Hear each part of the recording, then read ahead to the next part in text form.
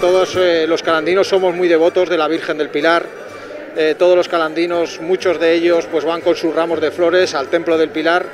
El Templo del Pilar es un lugar cerrado. eh, teníamos miedo de que se congregara muchísima gente en torno a un espacio de interior y decidimos pues sacar la Virgen, seguir manteniendo lo que es la tradición de lo que es la Virgen en la plaza y el motivo es pues eh, si la gente quiere dejar sus ramos pues lo puede hacer de una forma más distendida más tranquila y sin esa aglomeración que como estáis viendo pues nos está produciendo.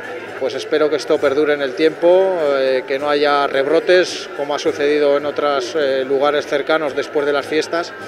Y como digo, pues como alcalde, pues dentro de la situación es para estar relativamente tranquilo, re- relativamente satisfecho, esperando que el futuro pues amaine esta situación y que pronto podamos celebrar todos calandinos y todos los españoles pues las fiestas, nuestras tradiciones en torno a nuestra patrona, la Virgen del Pilar, que como sabéis todos los calandinos somos muy devotos. Hombre, pues mire, vine cuando se empezó a hacer la central térmica y aquí me casé y aquí me quedé. Hombre, sabe malo, pero ¿qué vamos a hacer por las circunstancias que estamos? Pues mire, con- en casa, con la familia y vale.